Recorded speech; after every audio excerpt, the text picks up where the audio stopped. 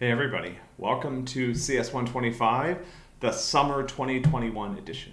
I'm super excited that you're going to join us this summer and we're going to have a really exciting and fun time together learning computer science um, this summer. So, uh, a couple of notes as we're getting started. So, I put out a fair amount of the material that we use the first week of lessons that we'll be covering this summer um, quite a bit early to give you a chance to get started. Um, CS 125 is a fast paced, demanding class. So, as excited as I am that you've chosen to complete this course this summer, I am going to warn you about our pace. This is going to be fast. It's already fast during 15 weeks, and we're going to do it in seven. So, we're going to be moving at roughly double the speed that we normally move at in the semester. So what does that mean? It means that you know in the semester we normally expect students to spend we normally expect students to spend maybe 10 or 12 hours on the class per week.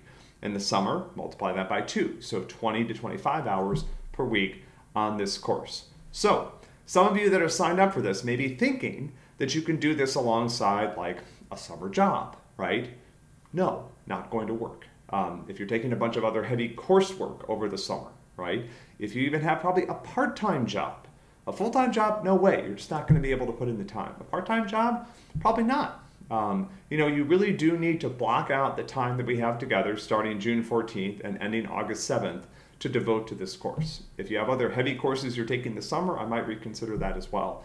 Uh, this is a demanding class, and this is not a light version of the course. It's not like the summer edition that doesn't cover most of the material. We're going to do everything that we do during the semester, which again means that we'll be moving at twice the normal speed. So we have a great staff. We have great content. Everything's ready to go. You know, we're just missing you at this point. You're, you're the missing ingredient.